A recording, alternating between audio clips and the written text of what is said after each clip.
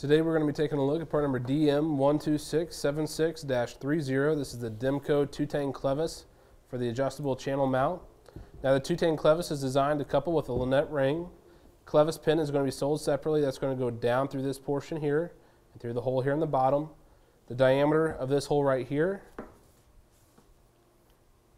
is going to give us a measurement of one inch.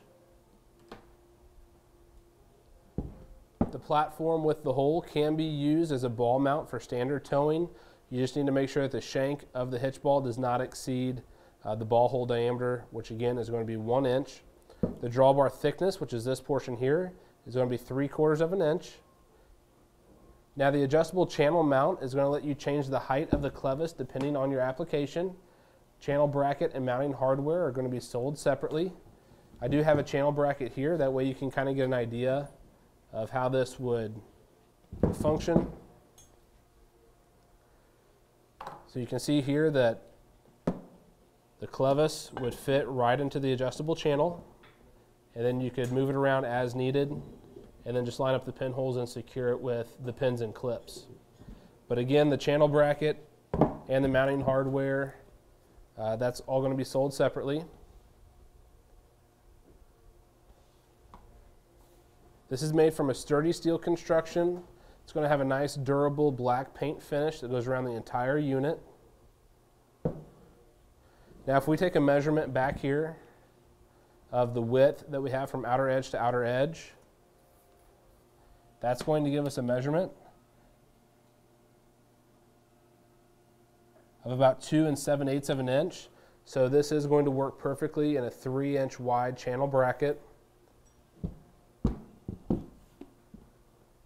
The mount holes on this unit. Those are going to give us a diameter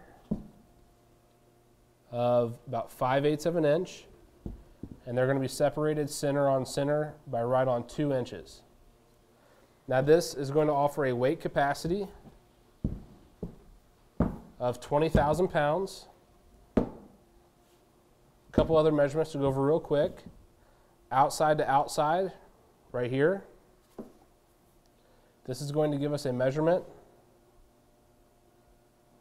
of 3 and 7 eighths of an inch. The opening that we have from this point here to this point here, that's going to give us a measurement of about 2 and 1 quarter of an inch. And then if we had a pin running through there, again a 1 inch diameter pin, taking a measurement from the back wall here to the closest point or to the beginning of that pinhole, it's going to be two and a half inches, so that's about how much space you're going to have back in this portion here.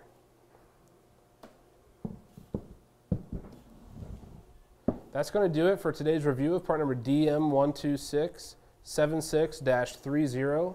This is the Demco two-tang clevis for adjustable channel mounts.